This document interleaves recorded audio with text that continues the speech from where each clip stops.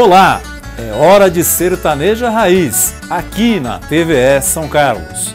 No Moda de Viola de hoje, o especial sobre Chitãozinho e Chororó, a mais famosa dupla brasileira de todos os tempos. Neste programa, teremos Chitãozinho e Chororó cantando sertaneja raiz, em vídeos do Viola Minha Viola da TV Cultura, Som Brasil da TV Globo e Clube do Bolinha da TV Band e também uma entrevista nossa com Chitãozinho e Chororó. Na pequena Astorga nasceu José de Lima Sobrinho, o Chitãozinho, em 5 de maio de 54. E depois Durval de Lima, o Chororó, em 30 de setembro de 56.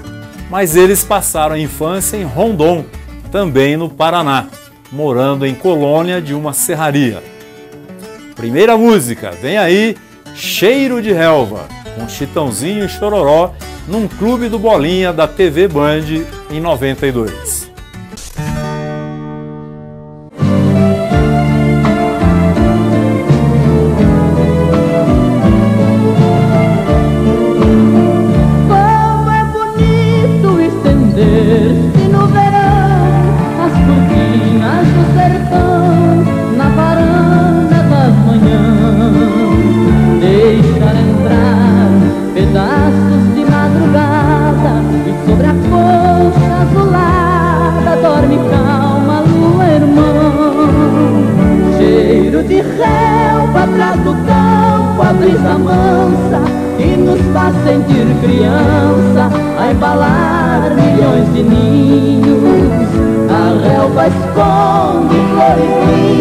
Orvalhadas, quase sempre abandonadas, nas encostas dos caminhos. A Juriti, madrugadeira da floresta, com seu canto abre a festa, revoando toda a selva. Rio manso, caudaloso, se agita, parecendo achar bonita a terra cheia de relva.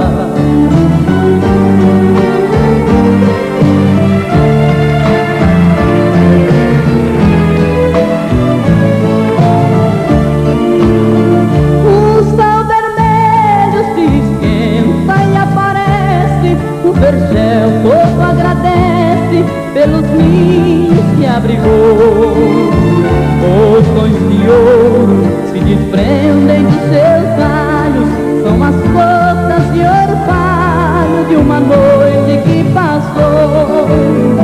Cheiro de relva atrás do campo, a brisa mansa que nos faz sentir criança, a embalar milhões de ninhos. A relva esconde flores lindas, orvalhadas, quase sempre abandonadas nas encostas dos caminhos. A Juiti, madrugadeira da floresta, com seu canto abre a festa, revoando toda a selva. O rio manso, caudaloso, se agita, parecendo achar bonita a terra cheia de relva. O rio manso, caudaloso, se agita, parecendo achar bonita a terra cheia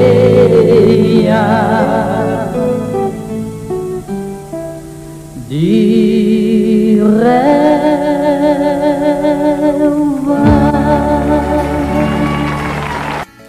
Em casa, os pais cantavam em dupla. Antes, em São Paulo, o pai tinha sido parceiro de João Mineiro, que depois se consagrou na dupla João Mineiro e Marciano. Com 11 e 9 anos, Chitãozinho e Chororó começaram a cantar no clube de Rondon, que tinha um concurso de calouros aos domingos. Agora uma moda de viola, o Mineiro Italiano, com Chororó tocando viola num Viola Minha Viola de 2011.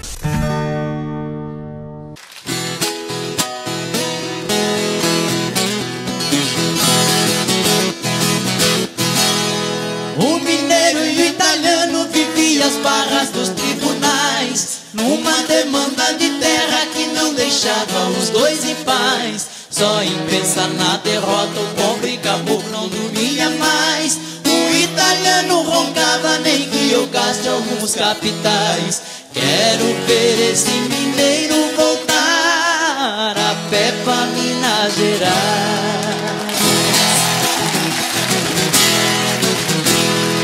Voltar a pé pro mineiro seria feio pros seus parentes. Apelou pro advogado, fale pro juiz pra ajudar a gente. Diga que nós somos pobres, que meus filhinhos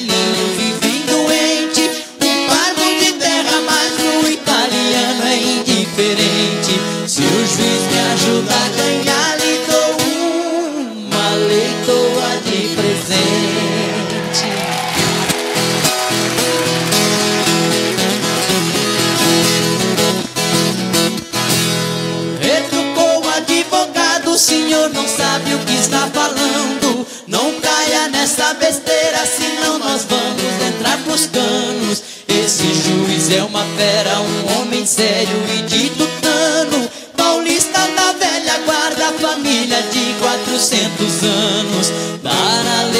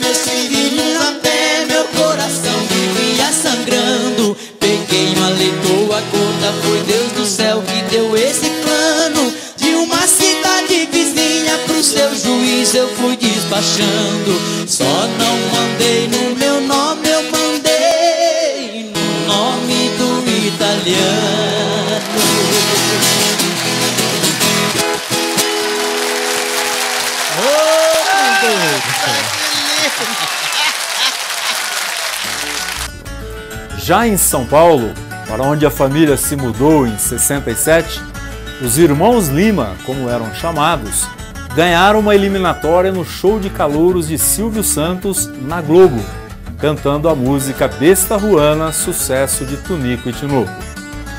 Receberam o apoio do radialista Geraldo Meirelles, que incluiu a dupla na sua caravana de shows. Aliás, foi Geraldo Meirelles quem mudou o nome artístico para Chitãozinho e Chororó, usando o título de uma música caipira. No início, eles ficaram muito contrariados, mas depois se renderam à força desse nome. Agora uma composição de Chororó, Fogão de Lenha.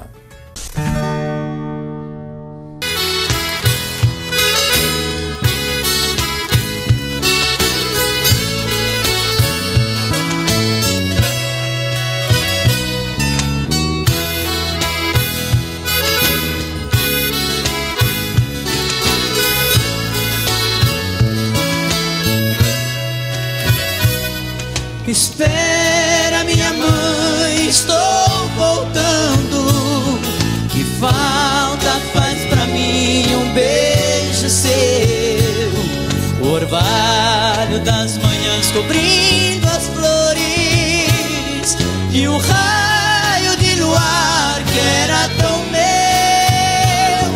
Os sonhos de grandeza, mãe querida.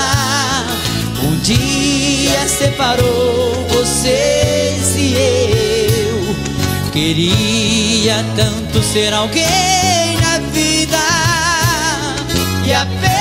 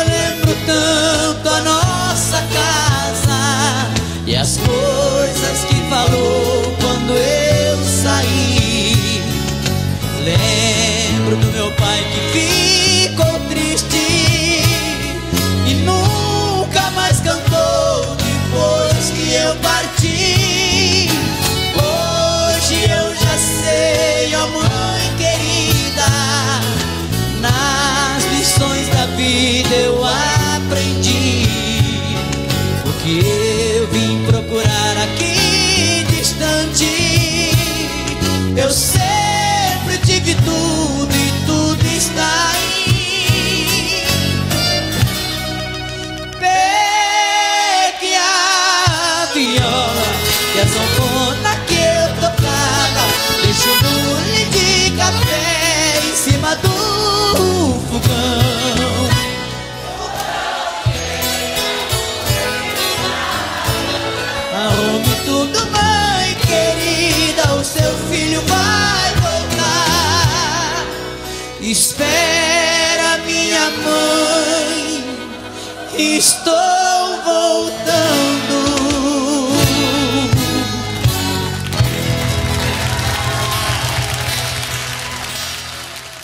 primeiro LP tinha a música Galopeira e foi gravado em 70. Depois de alguns sucessos, como 60 Dias Apaixonados em 79, a grande virada da dupla ocorreu em 82 com a música Fio de Cabelo, do oitavo disco, que vendeu 1 milhão e 500 mil cópias. Desse mesmo disco, outro sucesso, Obras de Poeta, que vamos recordar de um Som Brasil da TV Globo. passarinhos enfeitam os jardins e as florestas. São iguais às melodias, vivem na alma dos poetas. Qualquer tipo de canção sertanejo popular serve de inspiração.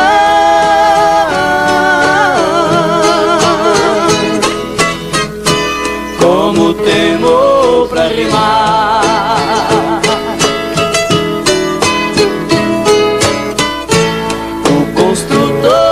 Floresta. Faz seu prédio na banheira.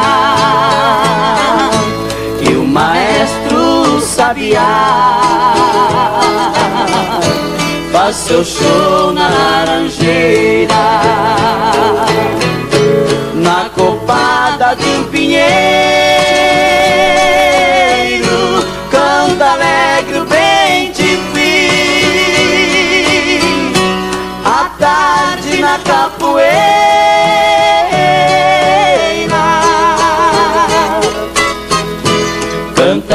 triste a Juriti.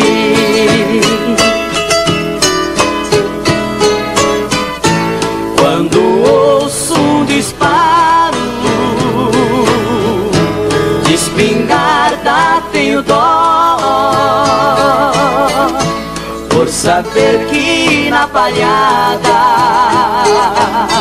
está morrendo um chororó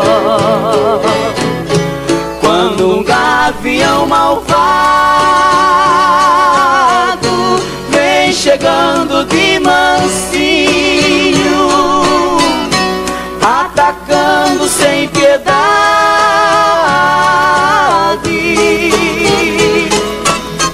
Deixa viúvo canarinho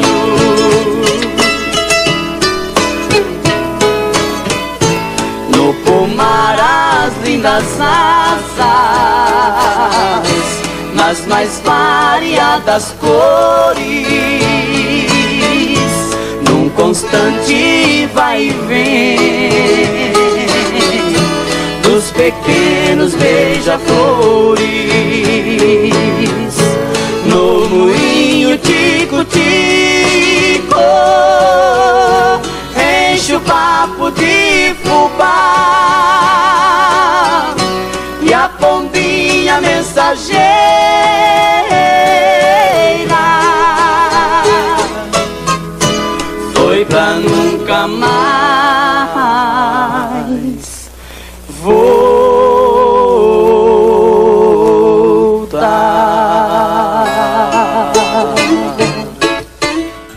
Para o quadro da declamação, escolhemos a toada Terra Tombada, autoria de José Fortuna e Carlos César, primeira gravação por Chitãozinho e Chororó em 86. Então vamos declamar com a base maior em violão de 12 cordas, executada por Tony Pochetti. Calor de mês de agosto, é meados de estação. Vejo sobras de queimadas e fumaça no espigão. O lavrador tombando a terra dá de longe a impressão de losangos cor de sangue desenhados pelo chão. Terra tombada é promessa de um futuro que se espelha no quarto verde dos campos a grande cama vermelha, onde o parto das sementes faz brotar de suas covas o fruto da natureza, cheirando a criança nova. Terra tombada é criança, deitada num berço verde com a boca aberta, pedindo para o céu matar-lhe a sede. Lá na fonte, ao pé da serra, é o seio do sertão. A água, leite da terra, alimenta a plantação. O vermelho se faz verde, vem o botão, vem a flor. Depois da flor, a semente, o pão do trabalhador. Debaixo das folhas mortas, a terra dorme segura, pois nos dará para o ano novo quarto de fartura terra tombada, solo sagrado, chão quente esperando que a semente venha lhe cobrir de flor. Também minha alma, ansiosa, espera confiante que em meu peito você plante a semente do amor.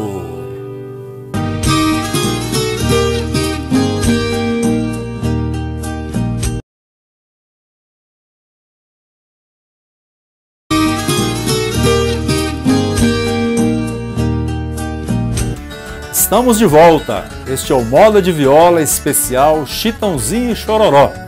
A TVE resgatando a autêntica música sertaneja e homenageando essa dupla de raríssima combinação vocal e afinação e que contribuiu bastante para vencer o preconceito que havia contra a música sertaneja. Chitãozinho e Chororó foi a primeira dupla sertaneja com trilha sonora de novela de TV foi em Tieta, em 89, com a regravação do, com nova roupagem de Rancho Fundo, música lançada na década de 30. Vamos rever um trecho dela.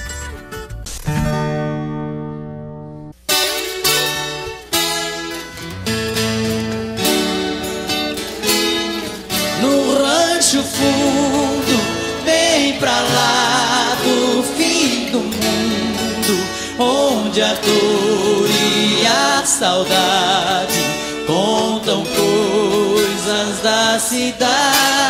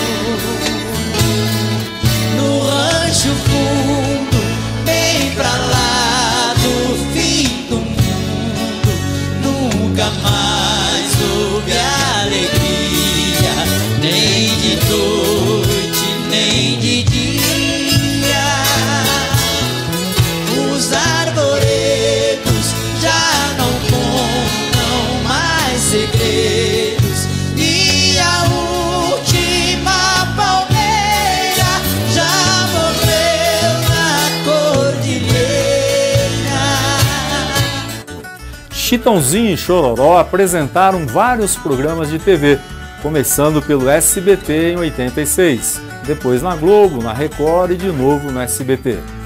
Com a participação de Jair Rodrigues, Chitãozinho e Chororó gravaram A Majestade o Sabiá. Vamos recordar, num Viola Minha Viola de 2011.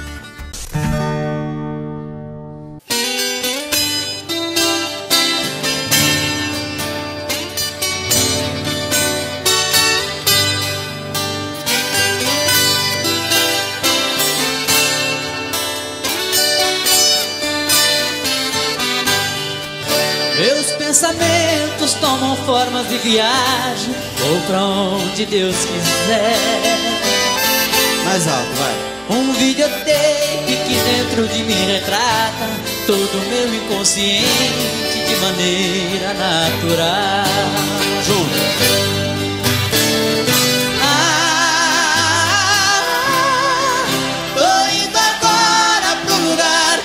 meu. Quero uma rede preguiçosa pra deitar.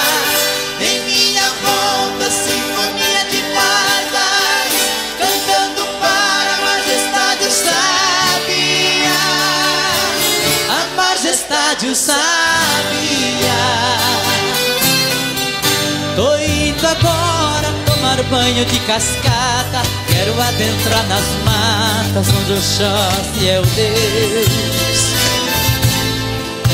Aqui eu vejo plantas lindas e selvagens Todas me dando passagem Perfumando o corpo meu Ah, Tô indo agora pro lugar todinho meu deitar. Em minha volta, sinfonia de pardais Cantando para a majestade o sabia A majestade o sabia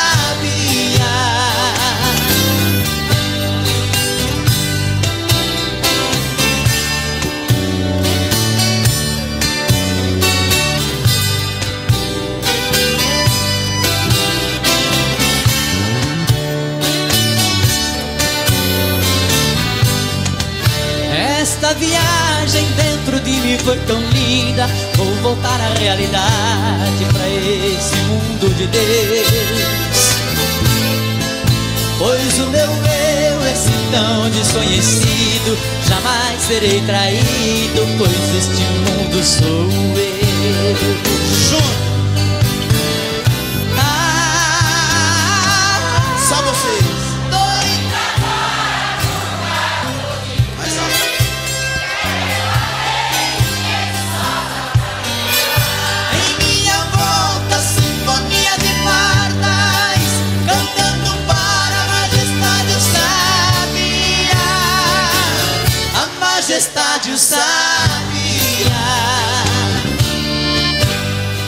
Há dois livros biográficos da dupla: Chitãozinho e Chororó Nascemos para Cantar, de 2002, e Chitãozinho e Chororó 40 anos Talento, Pioneirismo e Sucesso, de 2011.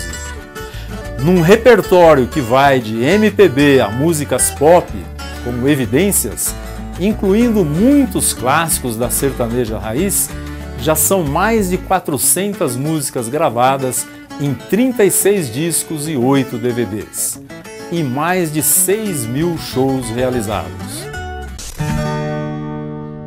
Para encerrar este Moda de Viola especial Chitãozinho e Chororó, estamos aqui na Oasis, em São Carlos, para entrevistar Chitãozinho e Chororó. É, sejam bem-vindos a São Carlos, Chitãozinho. Obrigado. São Carlos é uma cidade que sempre nos nos recebeu com muito carinho. Inclusive o último show que fizemos aqui foi nesse local maravilhoso. E hoje é um- uma, uma data especial para todos nós, né? Comemoração aí de 70 anos das Irmãs Galvão. E a gente não podia faltar numa festa tão bonita dessa. Legal.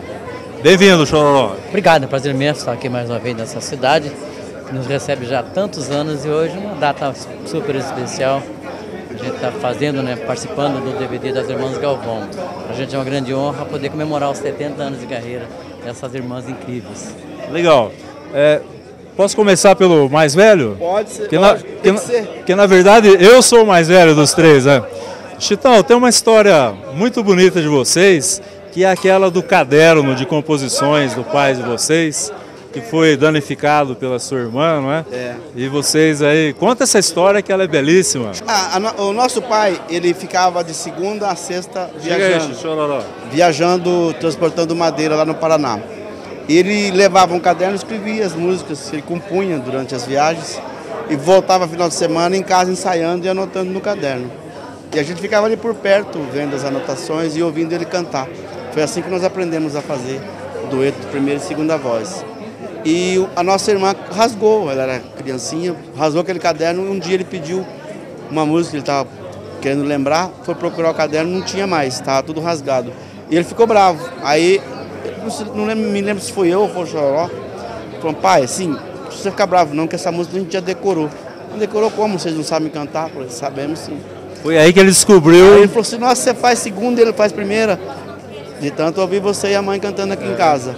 Aí ele ficou é, encantado, ele ficou feliz, ficou orgulhoso e começou a ensinar a gente a tocar violão, como era a segunda voz direitinho, como era a primeira voz direitinho.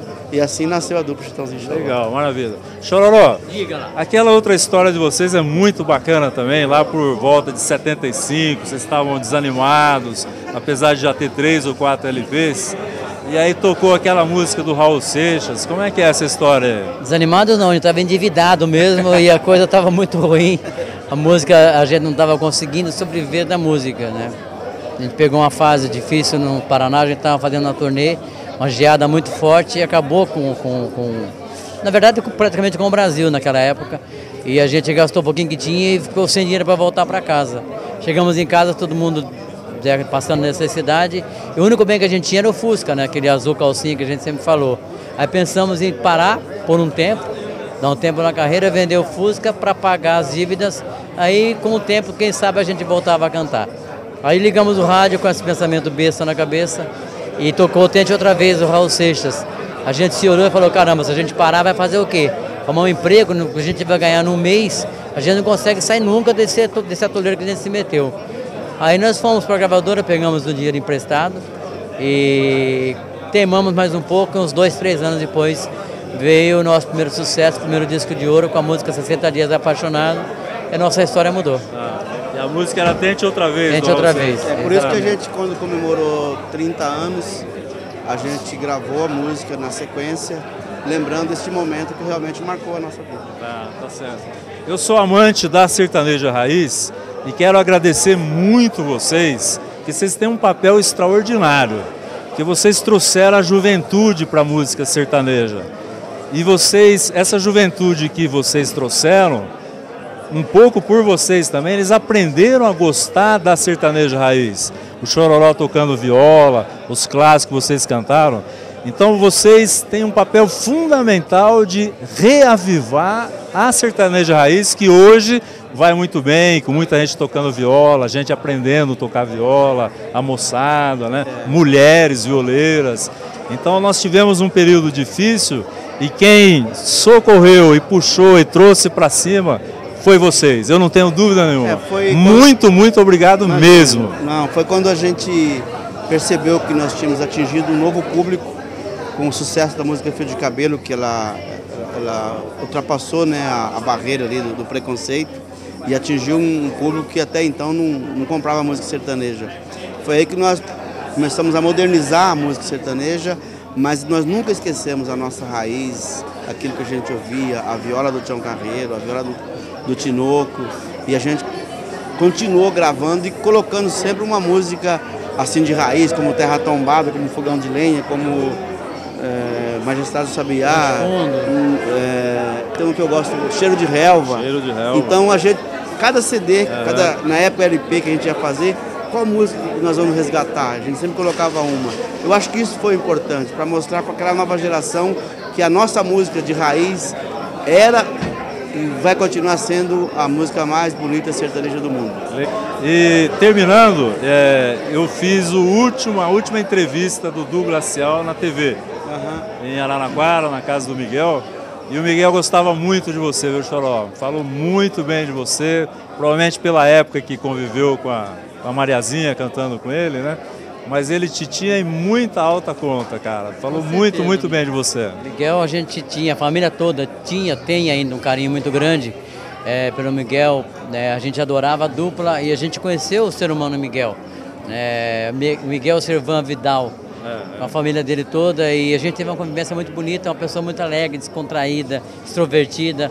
Ficou muito amigo dos meus filhos, e meus filhos adoravam, tinham ele também como um, como um avô, né? E era um carinho muito grande que a família tinha, tanto a gente com a dele, com a, a dele com a nossa também.